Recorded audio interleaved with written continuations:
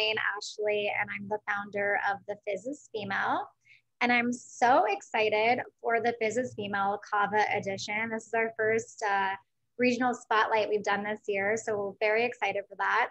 I'm also amped to have a co-pilot this time. Uh, my buddy Jen, my little like San Diego soul sister, uh, Jen Carruthers of JC Select Wines. And Jen uh, was responsible for uh, bringing you the wine packs that we sold for this event. We have a two bottle cava pack available for $55. So if you did not get that for this event, you'll definitely want to after we tempt your taste buds after this presentation. And it's going to be available on my website at thefizzisfemale.com and through Jen's website at jcselectwines.com. And we'll be speaking with three sparkling personalities from Catalonia this evening, all just kind of badass females in Cava country.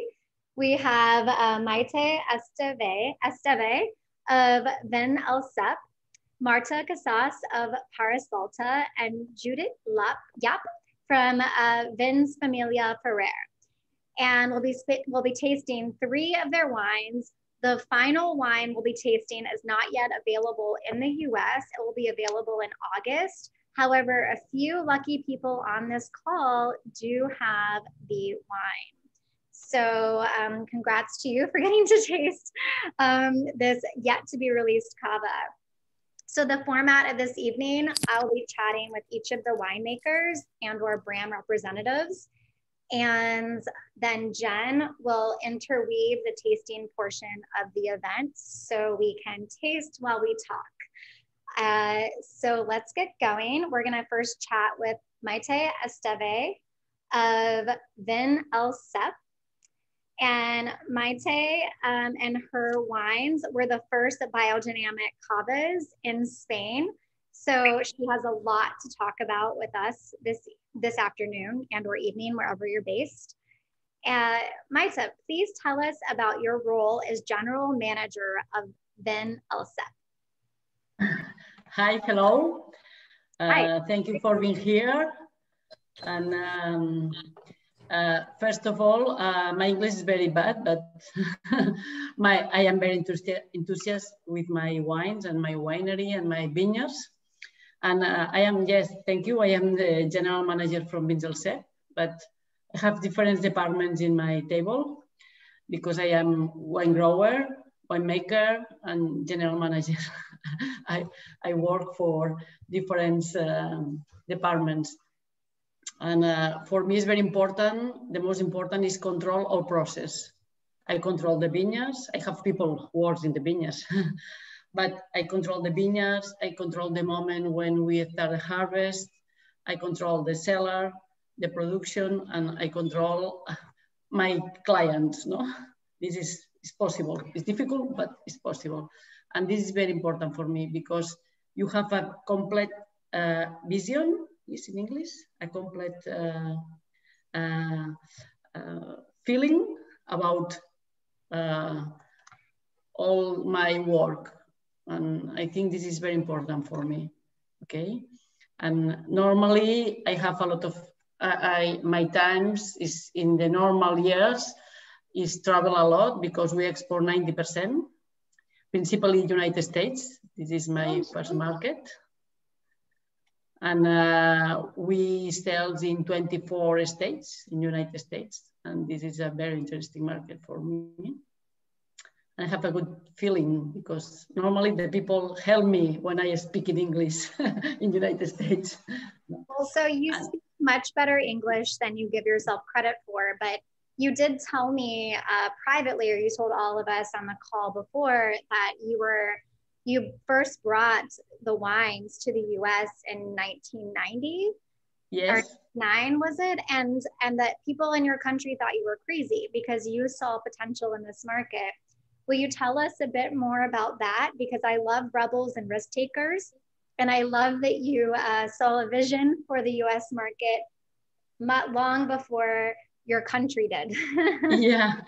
No, uh, I start to sales in, in United States because when we start, uh, we are, you know, our fam we are for families of wine growers. We are wine growers make cava, make wines. And here people don't understand a lot. It's crazy, but people don't understand a lot this one. No, we make organic, we make biodynamic, we are wine growers.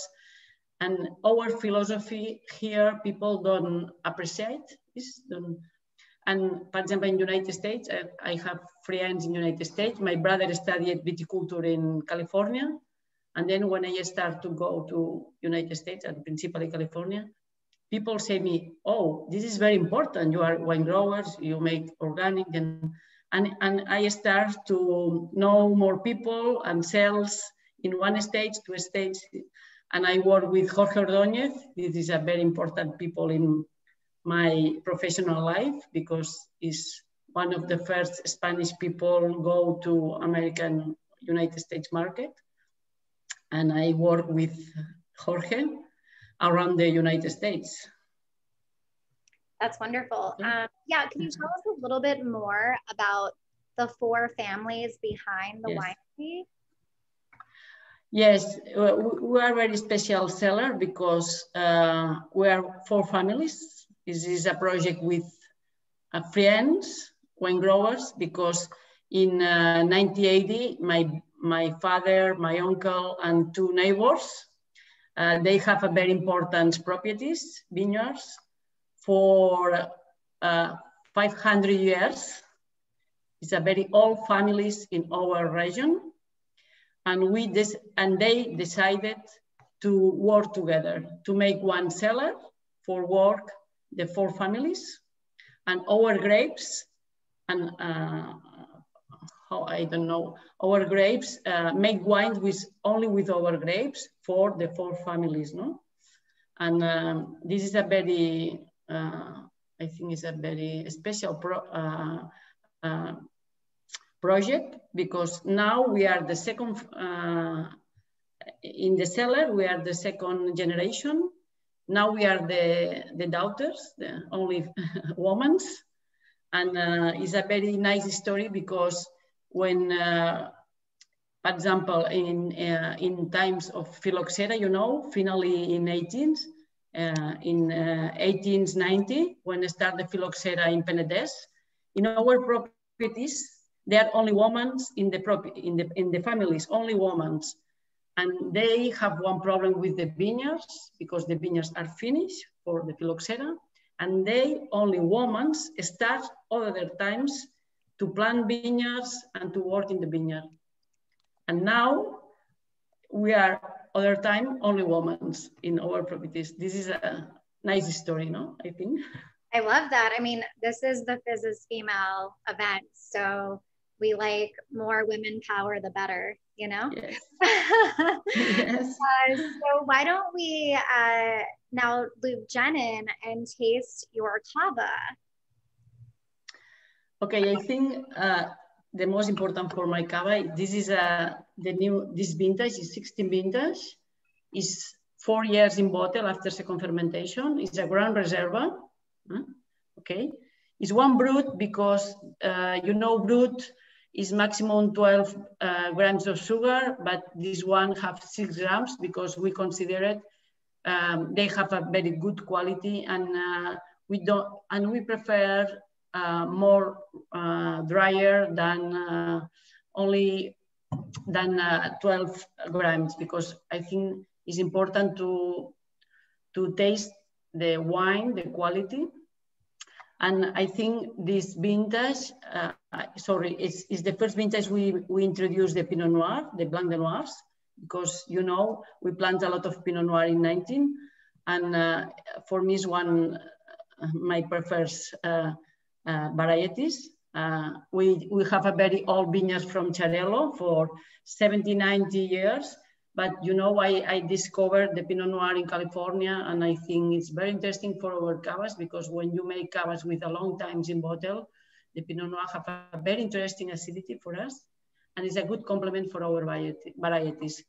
This cava, I think, is very complex, very round, uh, have the, is very creamy, have the typical uh, notes of uh, the uh, white fruits, the apple, pear, and, and citric notes, but have an special, uh, I think the Pinot Noir likes more round and more long finish, no?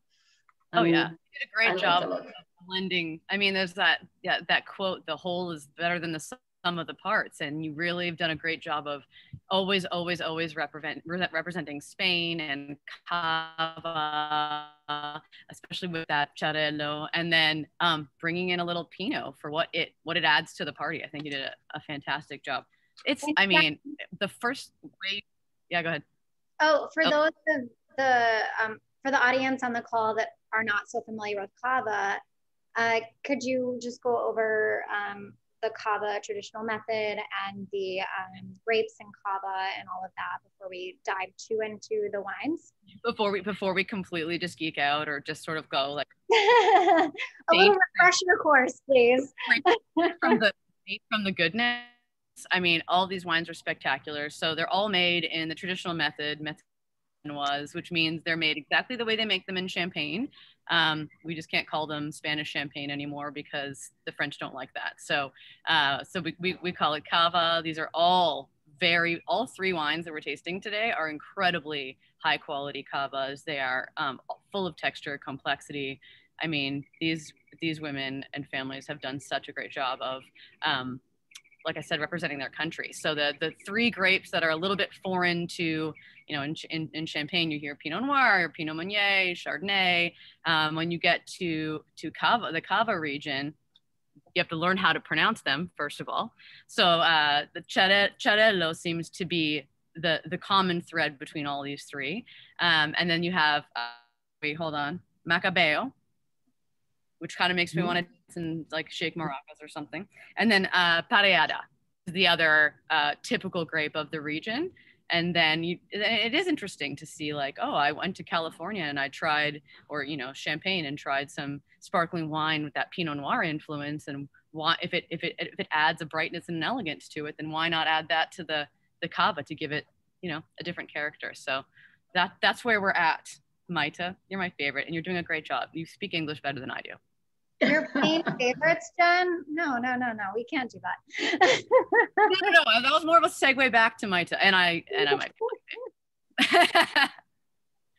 no, but I think I mean I, I I love this wine, and I opened this probably about an hour ago, and it is. I mean, it's singing. So the before I ever tried it, um, your description to me was hold on, bright and serious and I think that was like, I don't think I need to write anything else down because that really describes it. It's got such brightness and freshness to it, but everything about it just screams, I'm not messing around. I am a serious wine. Um, I'm stoked on it. I am very serious, like my wines. I would like. Yeah, I would like to just tell me that all the time. I would love to point out a comment uh, from a friend of ours is opening up a wine bar, a sparkling wine bar in San Francisco. She said, a fabulous cava, drank it as soon as I got it and love it. So it looks like someone's already downed a bottle um, of one of the cavas. so on that note, cheers. right. Cheers, everyone. Uh, now, why don't we move on to um, sparkling personality of Catalonia number duh or no two what's two dose. Um, I, I, I switch between uh, countries pardon me. Uh, Marta Casas the winemaker and sommelier of Parés Baltà now Parés Baltà is one of the three cavas that I have had the pleasure to enjoy and as did Jen years ago.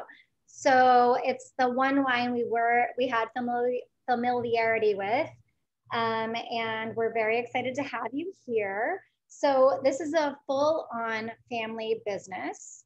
Um, you've been with the business for 20 years. I'd like to know both how you've seen the cava industry evolve and your experience and involvement with Parés Baltà in the last 20 years as a winemaker. Yes, it's a very large uh, way and a lot of histories and stories uh, with love as well with uh, my beginning that was uh, a love story with me and the wines and with my husband. I'm good. Sorry, there's someone with, okay.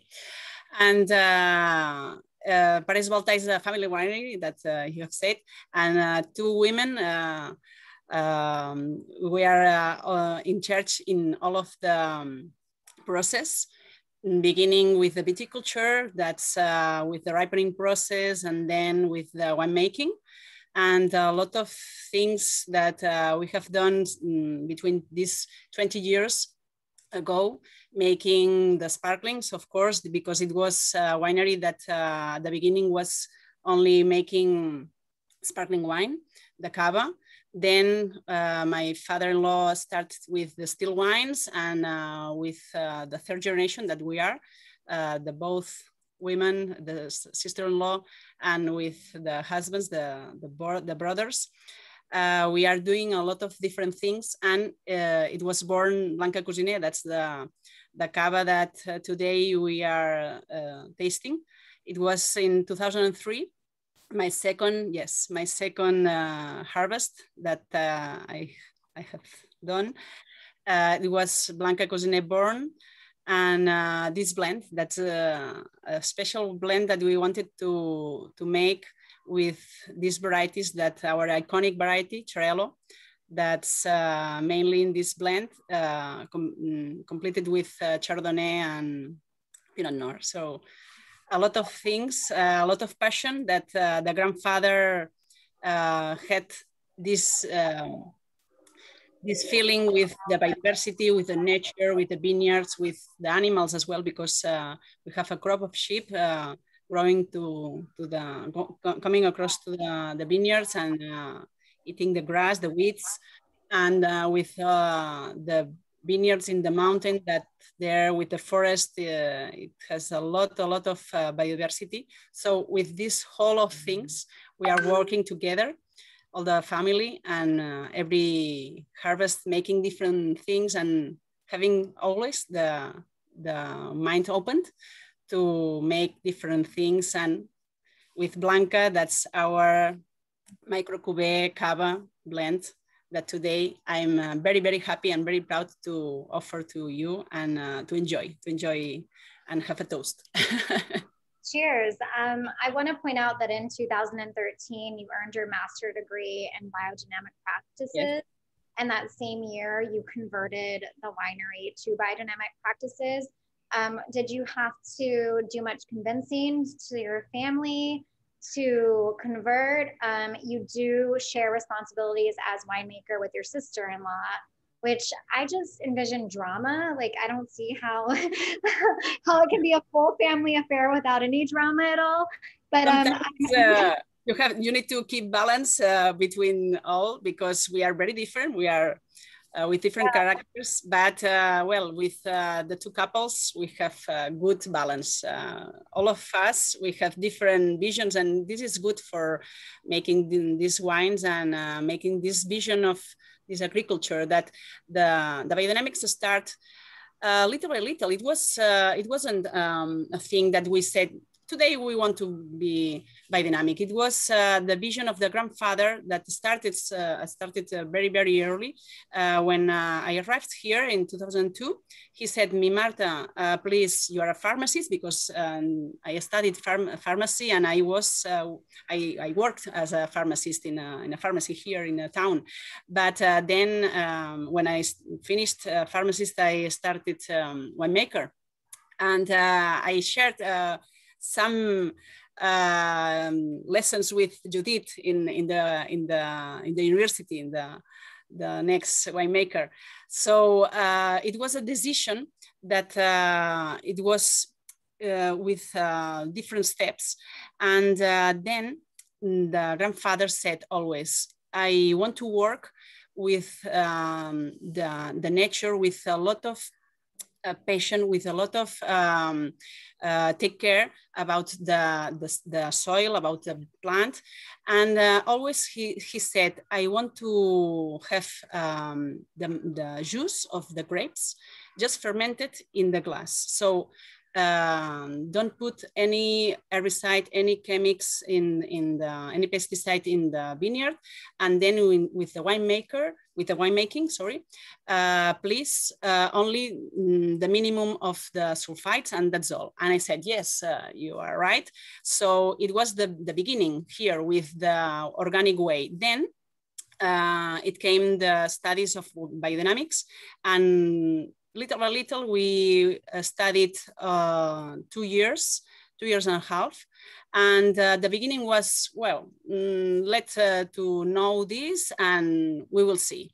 And we were mm, uh, aware, we, we had the, the vision of the grandfather and we said, wow, it was the way that the grandfather wanted. So working with animals, working with uh, the plants, the forest, and uh, having the vitality to the grapes, then to the, to the glass with the wine. So it was his vision of the future that he wanted to do this into in uh, 2013 the, when we finished the, the when I finished uh, in 2014 and now I'm doing the third degree with the rhythm of cosmos with the moon and with the other planets and the constellations.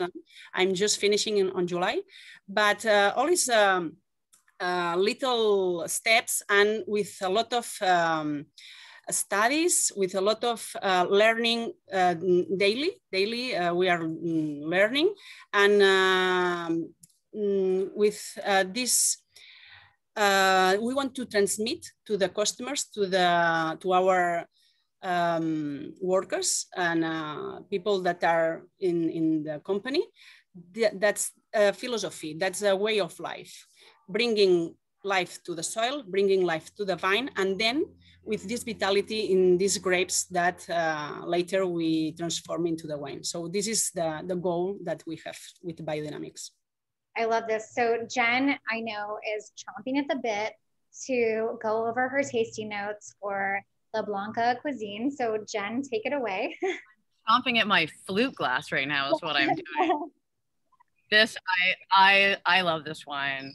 I I so um, Parés Baltà. I used to I used to sell this as a rep for 10 years, but I can tell you that I was never the Grand Reserva, and I'm gonna have a chat with who is the distributor for this wine and ask him why he was holding out on me for a decade. Um, it's stunning. This wine's really stunning. And it, especially as it opens up, I guess I don't normally have bottles open for an hour and have anything left in the bottle. So, um, but yeah, no, it's, it's beautiful. And I, I love how much Xarel·lo is in there. So it's um, mostly Xarel·lo, like 80%, and then combined with a little bit of Chardonnay and Pinot. And I loved the explanation that you gave when I asked you about it. Um, what Xarel·lo gives to the wine and then how the Chardonnay and the Pinot just kind of almost elevated a little bit. So if you could share that with our gang, that would be great. Yes, uh, the Xarel·lo has uh, this structure, this um, texture in the mouth feel. And then with the Chardonnay and Pinot Noir, uh, they give the, the elegance, this finesse, these bubbles that are very soft, um, as well because of the um, aging. It's uh, almost uh, uh, 80 months aging because it was bottled in 2013. The vintage is 2012 so a lot of uh, time aging and then this sensation of creaminess this sensation of uh, toasty notes because the pinot noir was barrel fermented as well with batonnage process and then this blend it's perfect for this elegant cava that uh, we wanted to do in 2003 in uh, with this vision of the grapes in the mountains that we have there, the Chardonnay and Pinot Noir in the mountains of Penedès, that's uh, in the north part, and then the Xarel·lo in the um, flat part that's here, just here in the winery that we that I am now in the winery in the terrace. and you ferment so you ferment the Xarel·lo and the Chardonnay together in stainless steel, and then you do the Pinot Noir in oak. Yes, yes, but uh, the three varieties separately, all. Yeah. yeah. Different tanks in the barrels as well with uh, the Pinot Noir, and then finally we make the blend, and then the tirage, and finally the degorgement. That would it was my my bottle. It was degorged just uh, the beginning of the year, so 80 months. So it's uh, quite a long age and that that fennel is really coming through now, yes. which I'm like, is that is that fennel? Is that, is that what that is? I mean, I, I, love this wine and like the almonds and the toasty notes. Like all these wines are such like rock stars, and I I, I they deserve so you know such a great platform um, on the world market. I think everyone should drink a lot more cava. I mean, I'm going to do my part as much as I can. I might even cover the quota for a few of you out there. Um, but yeah, person, I mean, I, I just, I think this is a fantastic wine. And I have to say, as someone who sold wine for 10 years, like, I can't say that labels don't matter. And this package is just beautiful. Like the simplicity of it is just, I don't know. Simple, simple I'm, label. I'm forever. Yes. Yes. Well, and I actually, so I bought, there were only 24 bottles left in the country and I bought them all. So if I haven't drank them all, you guys them. So, right, so as I mentioned earlier, we have cava packs available for this event. If you didn't get them, they're still available and they're quite affordable at $55. So they'll still be available well after the event. Um, so Kava's Balta normally retails for like 45 maybe. And then I think the El Cep, the Vins El Cep retails for like 25. So we're doing a little package for $55 because we wanted to get it in the hands of some awesome people. That's me. So, um, on that note, we'll go on to winemaker number three and a wine that's not yet available in the US, but Jen and I are going to be promoting a package with this wine when it does become available um, in August, we hope. We'll hear all about it. Hope. Yeah.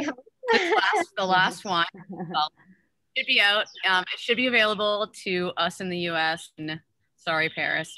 Um, actually, you probably already have it, and I'm jealous of you, but it should be available in the US in August. Um, and there may or may not be a mug that says, a coffee mug that says, this is maybe most definitely cava in a coffee yeah, mug. Yeah, there is. So there gonna, we'll speak for mug. Um, so we have Judith Yap, but your last name on your thing is something else. So what's yeah. your what is your last it's my second surname is Gazul, but my first surname is Llop. Yeah. It's Wall. Okay. It's Wall. Okay. Um, so Judith is the winemaker for Vins Familia Ferrer for the past 18 years. You've been with Vins Familia Ferrer. And um, we are, some of us are tasting the Can Sala 2008. So grateful to taste this, such a beautiful wine. And as we just said, it will hopefully, fingers crossed, be available in August, September 2021. What year is it? I don't even know. We've had so much COVID at this point. so, um, Judith, yeah, uh, will you tell us your experience with working for this family business throughout the past 18 years? Uh, hi, everyone. First of all, thank you very much uh, for letting us participate in this female wine event. For me, it's a pleasure uh, to be here and to share with uh, all of you uh, the cavas that uh, we make. Um, for me, it has been really hard to be a female winemaker. When I was nine years, I told to my father that I want to be a winemaker. So my father just say, you know what you are saying to be a female winemaker? And I say, yeah. So I work really hard. I work in different countries around the world, in Australia, in Chile. And at the end, I decided I want to come back uh, where are my roots and to work with uh, traditional varieties uh, where I am and where I am born. So thanks everybody for, for it. So yeah, I beat, sorry. So, so you know, I, I love that you, you faced yeah, I've been involved in as a female wanting to go into a male dominated industry. And that was the reason I launched the Fizz Female in 2016. So it was all because I was finding that myself and many other females were facing challenges on being taken seriously and entering the field. And so this is exactly why we're all here today. And we have such a great support system here drinking cava mm-hmm. with all of any, you. Any doubters or any doubters out there are tasting this and crying. Yes. That's what they're doing. Exactly. So, uh, we make uh, two kinds of cava. Uh, the so for us, what is important is uh, to treat the wine with the maximum respect, relying on technology, but also with the tradition of that our ancestors uh, gave us. Uh, for this reason, we work just with the indigenous varieties from the region, uh, are Xarel·lo and Parellada. Just uh, the cava that today we are tasting is Can Sala 2008 50% Xarel·lo and 50% Parellada. Uh, it's 2008, so it means that it has been aging 13 years in bottle. So um, it's a challenge. Uh, and uh, for us, uh, we just bet it and uh, we did, we have to go on this direction and let's try what happened. So Parellada is a variety that um, eh, in the region is not considered a variety for making cavas for aging during years. It's a variety that gives the freshness, gives the elegance, gives uh, these uh, floral notes. And we say, okay, let's do a bit different. So let's bet for the parellada and at least 40% of our cava has to be made uh, with parellada. And uh, at least our cava has to be aged four years in bottle. Um, I don't know if, if, you know more or less the different uh, classifications in cava. Uh, in cava, uh, mm, we have the, uh, the cava um, semiseco, seco brut, brut nature, and we have the top that is a um, paraje calificado. So yeah. in 2020, just there were uh, 10 cavas uh, qualify, qualify as uh, de paraje, that it means qualify location, cava de paraje. And, and we make two of them. Uh, we have uh, Can Sala 2008 and Vinyes de Can Sala 2013. Uh, so what it means, cava de paraje? Cava is a unique product that comes from a specially selected place. It's produced from vines in a small area and they are distinguished for different uh, characteristics as a terroir and location. And, um, and you have some requirements that uh, you have to get for this accreditation. So for example, the vines must uh, be at least 10 years old, grapes must be harvested by hand, uh, the maximum yield per hectare is 8,000 kilos per hectare. Um, only uh, single vintage cava, things like this. So, um, and the minimum uh, aging in bottle is 36 uh, months in bottle. So the cava that today we are drinking, it's 13 years in bottle. It's so beautiful. Hmm. Like, I'm like, I, I just, yeah. And I'm so glad you talked about the paraje, paraje calificado, which I had to say seven times really fast and just messed it up every single time.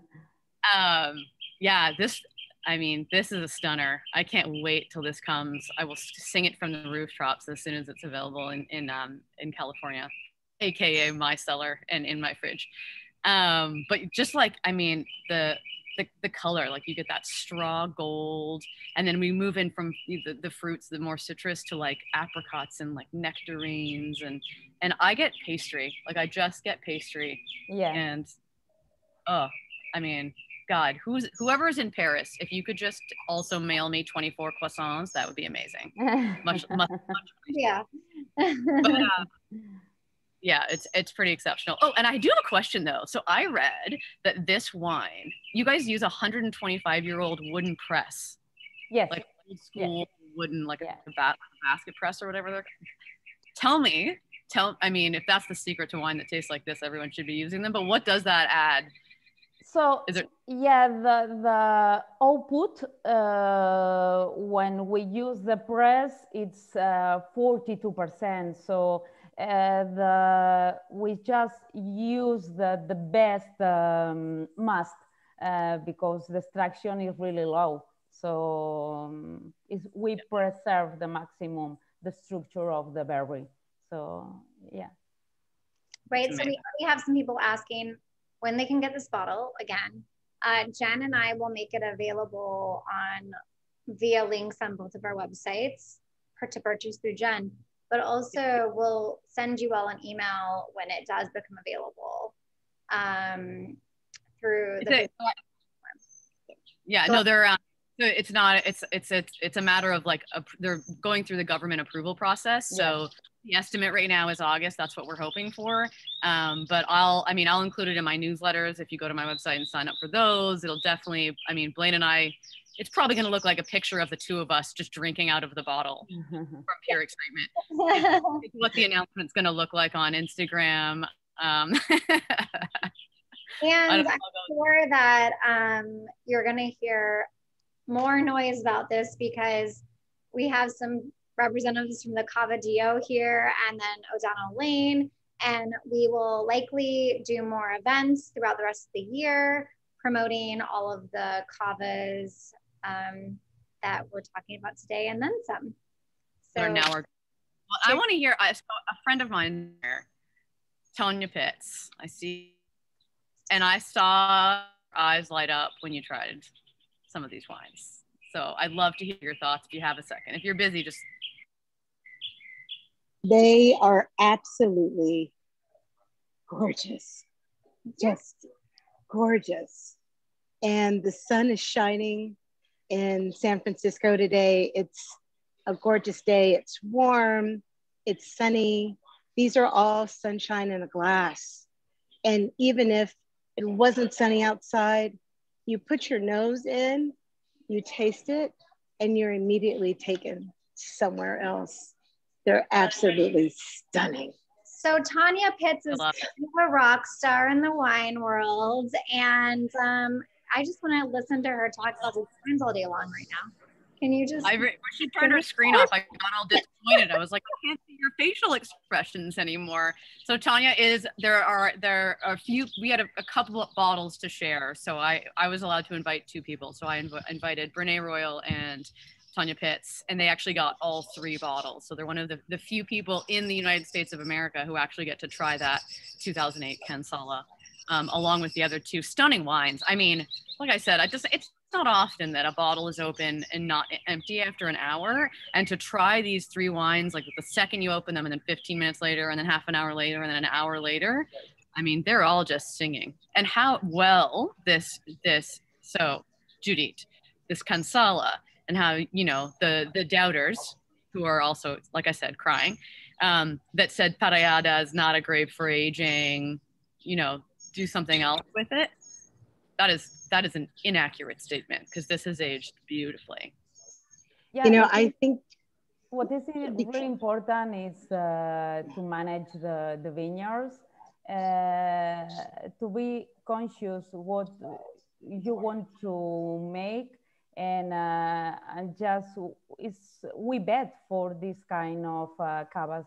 Just we produce two cavas de paraje, and uh, and we say is what we want. So let's do uh, it. We have a lot of hectares uh, of vineyards. We have more than 100 hectares of vineyard, and just we use 0.5% for making this cava. The rest we sell to other wineries and um, and uh, yeah it, so the the vines that you use for making this cava has to ident- to be identified for the appellation and always you have to take the grapes from the same uh, vines that the cava appellation controls. Yes So um, I know that many of you have the wines that we're tasting today, at least two of three of them. Um, if anyone has any questions, I'm gonna give the Bubblista on here, Devon. We have JC, who's a huge wine, wine, wino, and particularly bubbly wino. Um, we have Christina, who lived in Spain for many years. Um, Cynthia, who represents women mostly women in Champagne, but I don't. I think she's an equal opportunist. We have Maya, who is launching a sparkling wine festival in Denver. Um, we have a lot of great people. Dawn, who's opening a sparkling wine bar in San Francisco, and she's apparently downed both of her bottles. I think not not to throw you under the bus, Dawn. I mean, listen, we are no judgment here. Reem, who comes to every sparkling event and is mm-hmm. always dressed to impress. Look at that flower on her shoulder. I mean, come on, best dressed. You get best dressed again. Um, Becky, who loves to soak up the knowledge. Tanya, if anyone has any questions, please let us know. I think now, if it's okay with my cohorts, we can maybe unmute. Shall we unmute? Okay, let's do it. Okay, let's unmute and get to some chatting. We have a question in New York. Yes, Reem. Reem. Yes. Hi, my name is Danica, and I'm Reem's friend, dear friend, and I'm invited to the event, and I'm enjoying this beautiful cava. And I have a question, since my family is also in the wine business, and I know we're talking about American market, what are the plans to export to Eastern Europe, this beautiful cava? Like do you have a market and does judith and or patricia want to answer this or who is the best fit to answer this question so do you do you mean hi everyone so Reem, Reem did you mean like a specific cava or uh, the Gelida. The Gelida, no? So that question maybe should be answered by the the responsible oh. of the brand, right? Yeah. Maite. Maite, yes. what, what, Eastern European countries? We have Croatia, we have uh, all the ex-Yugoslav, yeah. Uh, sorry, I, I, don't understand very well. Uh, can you translate, please, Patricia? Sí, uh, está preguntando cuándo vas a exportar a, a, Europa, ¿vale? En este caso ah. preguntaba, uh, Yugoslav, you said, Reem? Or... I, I, I export to Europe. Um, I export 90% of my production. I export, my first market is the United States, I said you, but I export a lot of Sweden, Switzerland, Netherlands, Denmark, Belgium, a lot of countries in Europe. Because um, there are a lot of people interested in our philosophy. And uh, probably the first people uh, like uh, my philosophy was in United States because normally they are very pioneer in something. But uh, in the north of Europe, people likes very similar uh, organic, biodynamic uh, wine growers and, and, this kind of, uh, of wineries. And for me was more easy sales in these countries than in, in my country. Yeah. But, but and I like New York. Mind? I visit two times per year New York. It's incredible because I don't speak very well, but I have my bottles all the times and say. Well, when you come next, um, I'm typically based in New York. We'll have a ladies' lunch in New York with Reem and all of her friends, and and, um, and, Reba, and anyone in New York can come. It's, not hard, it's not hard to get me to New York, but my, so Maite, currently your wine are are not in Eastern Europe. Right. Okay. No, no está, ¿no, Maite? Disponible en Eastern Europe, es lo que están preguntando ahora. ¿En dónde? Eastern, ¿En? o sea, la parte, eh, la parte este de Europa, si se está disponible. Uh, yes, we sell in um, in Poland, we sell in in Czech Republic, we sell in Estonia, in Lithuania, and in Ukraine a lot. Okay. Well, thank you for the answer. it's a smaller winery, but uh, very international. uh, does anyone else have any questions? I, I think JC. Oh, I have a question. I just kind of want to hear about some food pairings. I mean, I know like a lot of people especially when you go out and you order a cava, it's more of, a, a young cava. So it'd be really interesting to hear about food pairings with an aged, more refined cava. I mean, one of my to me, I put this on par with some of the best champagnes I've ever had. Absolutely. Yeah, I agree. And, yeah. and, I would, I would, I mean, mm, so fun fact: my favorite champagne pairing is fried chicken. And for the last hour and a half, I have been craving nothing but fried chicken. Like I might actually hop in my car and drive to the Crack Shack to get some fried chicken as soon as we're done this phone call. Um, yeah, I mean, it, it, I think I think wines like this, so they're using the traditional method. Mm-hmm. I mean, I'll let, I, I, want everyone, I want each, I would live each like Judith, Maite, and Marta could each uh, share your favorite pairing with your wine. Um, but I have to say, I think wine, wines like this, cavas, especially when they're made like this quality, uh, are probably one of the best pairings. You could, you could pair almost anything with them. But yes, let's, should we start with Marta? What is your favorite food to pair with this wine? So for uh, these uh, cavas that have uh, this uh, aging, it's perfect uh, dish with, uh, for example, roast beef or fish that's in, made in oven. So with this kind of um, textures that are creamy and are with the sensation in the mouth that the cava can clean it, it's perfect.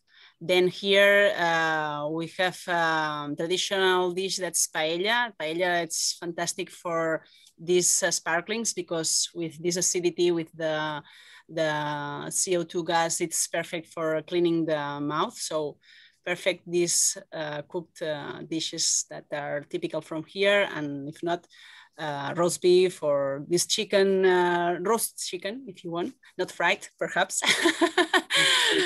and uh, it's fantastic.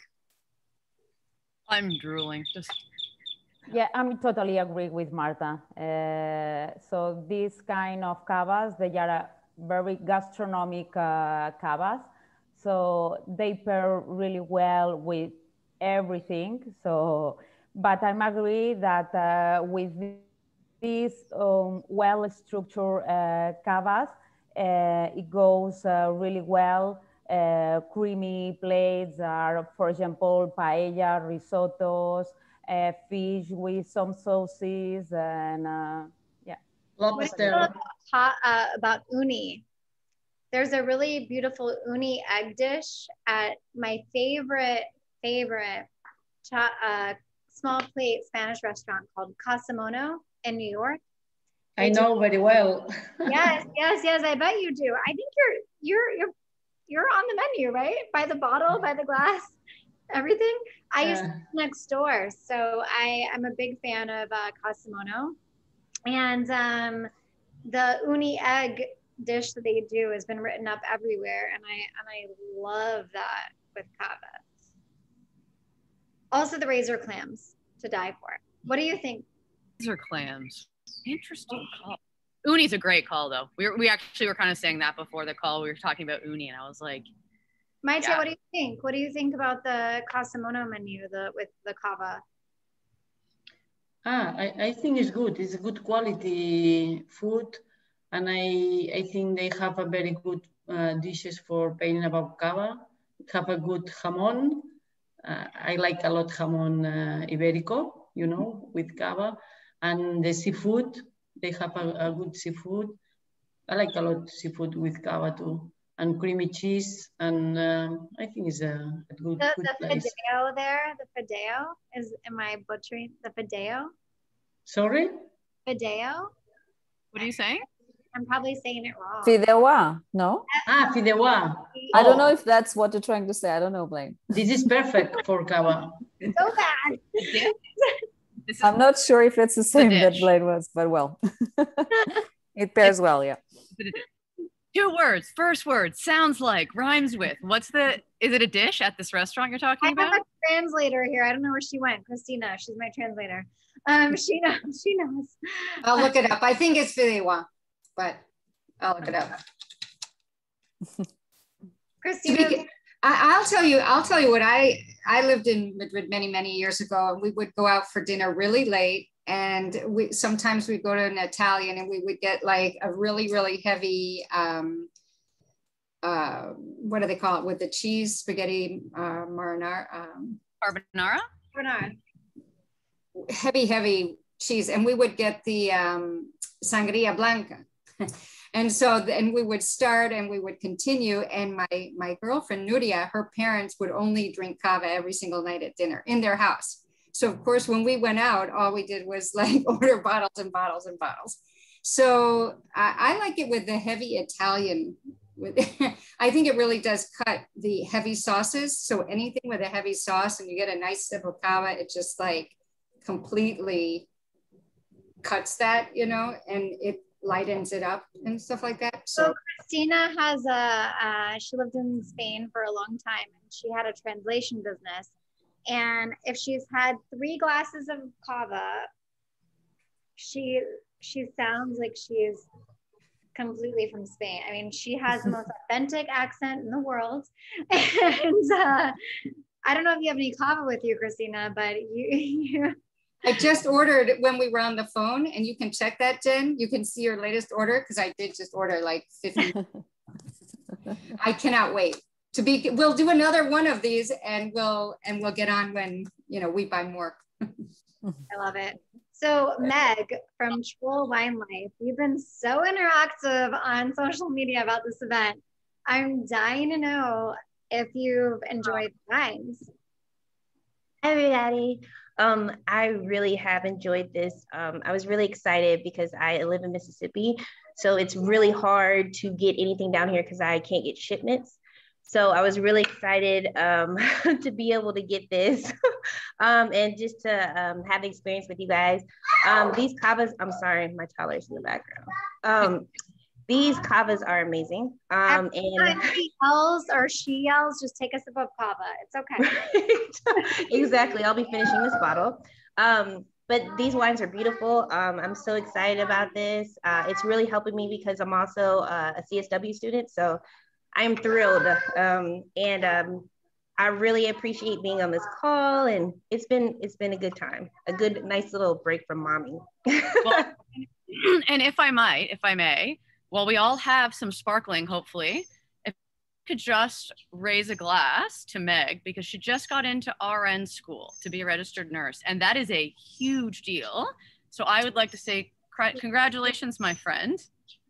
Cheers to you. Mommy, you candidate and RN school. That's that's quite a lot of an undertaking for you. Cheers. Congratulations. Thank you. Yes, it's been a lot. I actually uh, finished my master's of healthcare administration about two weeks. So it's been a lot, but yeah, very rewarding. So she's never busy. Rita, do you have any questions about Cava, Miss Champagne? Um, no, but I will have after I taste uh, several of them soon. I know where to find you. I love it. I love it. When you get back, when you get back from France, I'll there'll be a couple bottles waiting for you. Perfect. Thank you. Devon, might you have any comments or questions about the cava today? I do actually. Hi, everybody. Um. These cavas have been just amazing, just spectacular, one after the other. They all have their own beautiful personality, and um, it's been really fun to kind of taste them side by side to see. I, I feel like, especially with with you ladies, that part of your passion and your personality comes through and how these wines are created.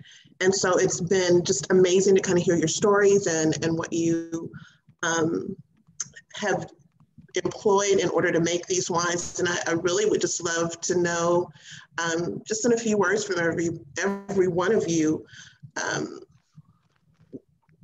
what do you think about when you are creating this wine? Like, are you trying to create a, or evoke a certain feeling, or are you thinking about that? Are you just kind of what's in your mind when you're your mad scientist hat is on and you're creating these wines?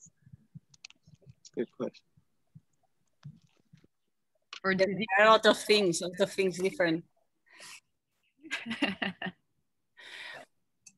when we decide to make a wine, uh, we think a lot of different things.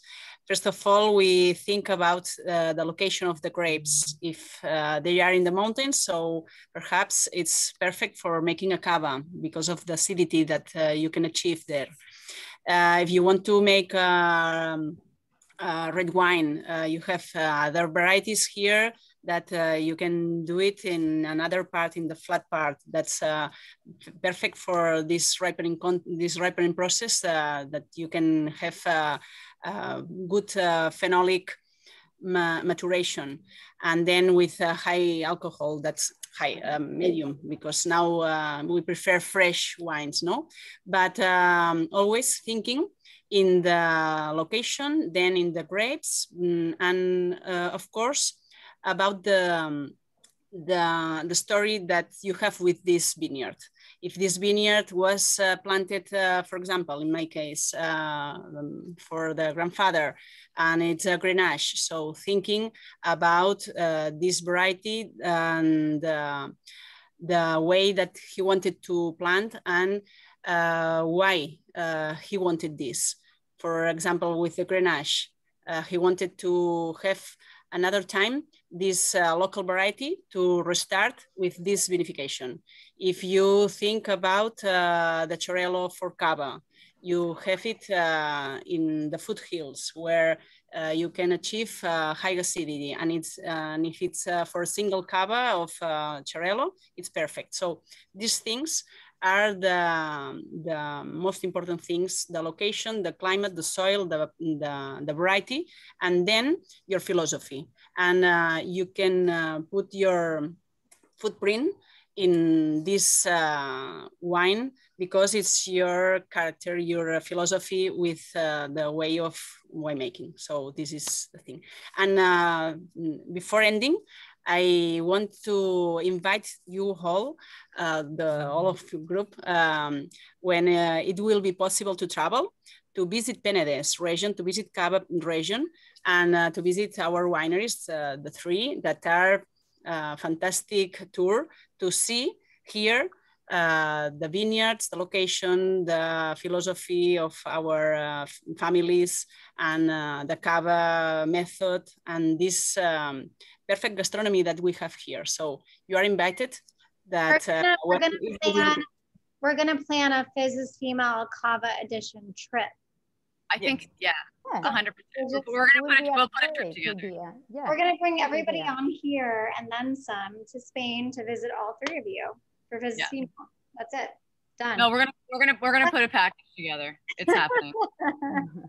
I think we decided this about two hours ago. We're yeah. We're we're just so, we're gonna we're gonna we're gonna open it up to whoever wants to come, but we're we'll we're gonna plan a trip. It's gonna be great. Yeah, we did, we decided this months ago. We're gonna we're gonna start taking visit female trips with Jen and her company, and that's it. Done.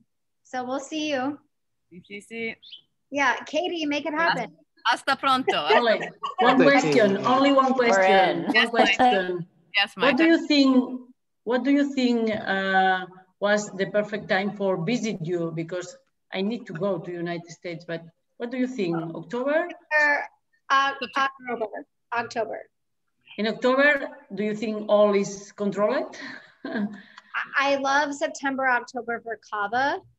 And then, and yeah, I would say September, October is best time. Uh, do you think the clients for United States are open for uh, I we visit in uh, September October? Yes. yes, yes. November it shifts to champagne. Trust me on that because I run Champagne Week, so I know that it's end of no. beginning to October, I think, and I think Americans are now ready to travel everywhere. But no, Jen, no, no, Jen, for for them to come visit the U.S., I would say September, October. Oh, or yeah. the spring. It depends where you go, but like it, I think a lot of people would drink, uh, especially on the East Coast or up where it's cooler. Um, you'd yeah. get a lot of cava sales when the weather warms up. So if you go in the spring and then get placements before right. the weather gets warmer, as the weather gets warmer but if you're eager to get out here this year, I would say September, October, and then I would revert to spring. I actually did a Cava week two years in a row in in June 2016 and June 2017. So I, I do agree with Jen's point that the like summer, like early summer, late spring is really good. But um, if you're eager to get to the US after a year and a half ish of with being not being able to travel, I would say like September, October. But I wouldn't try and dally into November, December. That's just my point of view. Thank you. I have a question. Yeah, Maya. Hi, Maya. Hello. How you guys doing? I'm out here in Denver, Colorado. It's 115 degrees. I'm dying. Anyway, hello. Um, I just want to say for cava sales in Colorado or for Denver metro area are very high in the summertime. Um, so if you ever want to come to Denver, mm, you're more than welcome. we have a really great um, cava um, production, our, our, our, clientele out here. Um, there's a producer out Casa Valor. The owner lives out here, so he's been doing a lot. But anyway, I have a question about glassware. So um, I'm seeing different types of glasses all over here. And, you know, champagne, I'm learning more about stemware and um, what for the differences between regular cava and then Grand Reserve, do you guys have a, a, a recommendation or you're still just a bulbous, a bulbous booty as I call them? Yeah, anything anything with a little booty is a perfect kind of glass. I to okay. be really honest, I drink. I have this like uh, Jancis Robinson glass, yeah. and it's a wine glass, and I'll put anything from sparkling wine to to white wines to red wines. It's kind of like an all all purpose glass.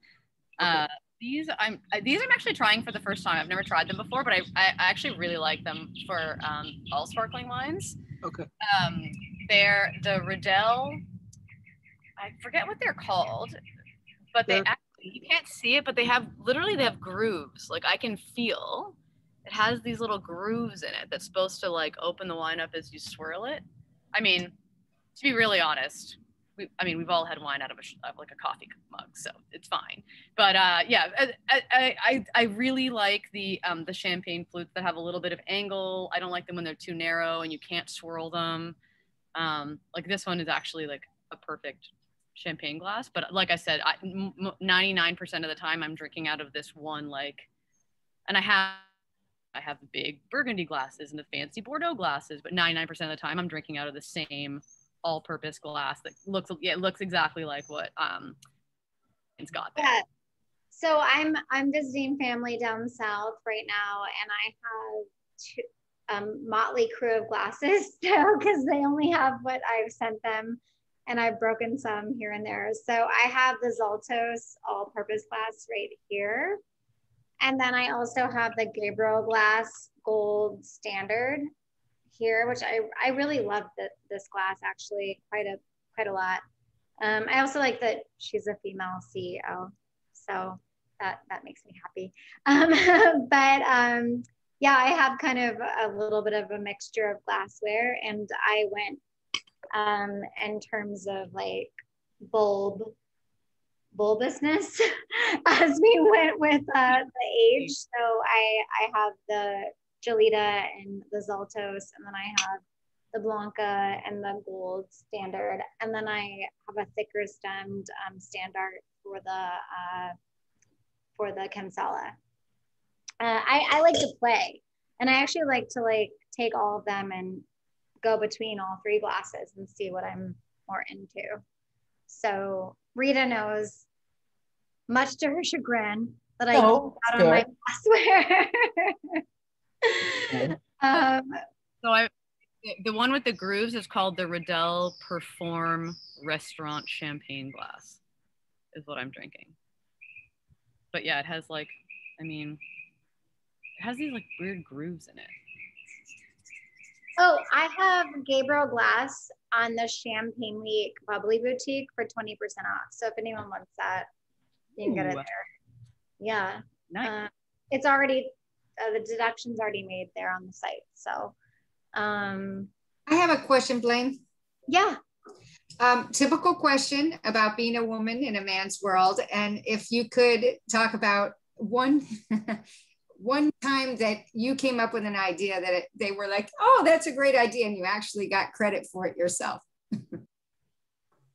Um, well, I don't know if that, I, I think I'd rather talk about the way that Fizz Female was born. So I was doing a ladies' lunch during the 2016 elect- election during Champagne Week, which is always the second week of November. So it's always during the election. And the ladies' lunch was with La Caravelle with Rita Jammet, who's on here this this evening. And um, there was a chalkboard in the room, and it was two days after the election. And everyone started putting the future female and i was like the fizz is female and then the idea was born. So that was when we had the 2016 election and that was what prompted me to launch the fizz is female. Um, also just you know as many judy in particular like mentioned this like people were like you want to be a female winemaker like what, you know? And I, when I launched Champagne Week, had similar sentiments. And um, I said I had an idea and I thought it was going to be really great. So I didn't mention this to many of you earlier that don't know me, but I'm the original founder of New York Champagne Week, which launched in 2013. And then I launched uh, is Female in 2018. Um, so we're coming up on eight years of Champagne Week. And I had a lot of people tell me, like, who are you to do this? Like, who do you think you are? And I was like, I have an idea and I think it's going to work. I think I want to popularize champagne all day, every day, any day with any food, any drink. Doesn't matter who you are, you can drink champagne, right? I wanted to make it inclusive and um, diverse and, and versatile and and I got a lot of pushback for the first five years. So Champagne Week was born out of that, and then an election, and a culmination of many, many years of pushback and me fighting against that. So I wanted to generalize more of the background. And, um, you know, I think we've all faced those challenges, everyone that's on here. Uh, getting into the wine industry, cracking into it, getting a little bit of cred, um, being taken seriously, as Judith said, becoming a winemaker. We all need to celebrate and support each other. So, cheers. and we have the first female vice president. We have a lot of things to celebrate. Yeah, we have some incredible women on this on this uh, event. I'm so happy to see it too because I know in New York everyone's getting real excited with everything opening back up, but I'm very thrilled to continue connecting to women around the world like this. Changes are coming. And, um, we, we're due to sign off. Uh, I do want to just point out uh, Dawn, uh, who's on the call, and she's uh, opening her own sparkling wine bar in San Francisco. So I would love for everybody to support Dawn and Don, please tell us before we sign off when you plan to open. And I think that you're going to be carrying some cavas if they're available, right? Yes, I would love that. So yeah, actually, um, it's in San Jose, but super close to San Francisco, um, in the Willow Glen neighborhood. Opening up a high-end champagne slash sparkling wine bar. So I am really looking forward to having a, a, broad spectrum of any form of wine from all over the country. And I thought these cavas were amazing. And it's really funny because I have been doing dinner parties once a month, tasting sparkling wines from across the world. And we just did a cava before this happened. And I wish I had had these to serve, but I'm very much interested in these. I thought they were phenomenal wines today. And I'm just really looking forward to it. We're opening in pushing out now to November 1st, but super excited. And um, it's kind of like my COVID baby, but um, I'm really excited. I think it's going to be fun. I think my neighborhood is really going to enjoy it. So please come see me if you're in the Bay Area. Congrats. What's the name? What's the name of the wine bar? I named it Bead, B E A D, Bead. Excellent. Yeah. Noted. Thank you. so to our sparkling women of Catalonia, thank you for staying up late at night and telling us your story and detailing your wines. We had so much fun. I'm just going to speak for everyone on here and say that. And so much busy fun. And uh, cheers to you all. And we look forward to continuing to promote the Fizz Female Cava packs and to introduce the Can Sala once it's available in the market. Mm-hmm. The second is the second it's available. Yeah. second it's available. Cheers. Three great ones. Cheers. Thank you, ladies. Thank you. Thank you. Thank you so much. Cheers. It's a pleasure. Cheers, everybody. Have a wonderful Bye.